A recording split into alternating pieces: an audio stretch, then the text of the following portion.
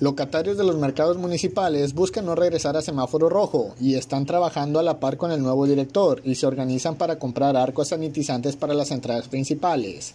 Ismael Bonilla Olvera, nuevo director, mencionó que desde su llegada se ha coordinado con los comerciantes y ya se tienen varios proyectos de mejoras.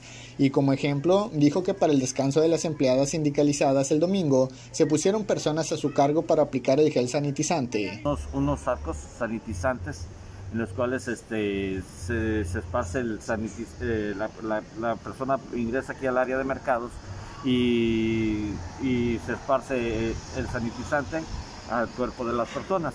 Esa es, esa es una esa es una muy, una muy buena acción, una excelente acción por parte de aquí de, de los locatarios e inclusive ellos también este, los fines de semana porque pues, ahora sí que el personal les lleva, tiene, merece su descanso el fin de semana ellos se están apoyando también con, el apoyo de, de, poner personas que nos apoyen en los filtros. Y así como también me estaban comentando que, hasta los mismos músicos le están entrando también aquí en, el apoyo de los fines de los sábados y domingos apoyando en esta, ante estas medidas. Agregó que sobre los tianguistas ya están en pláticas con el director de comercio para realizar una reunión con ellos y trabajar para resolver la problemática que se presente.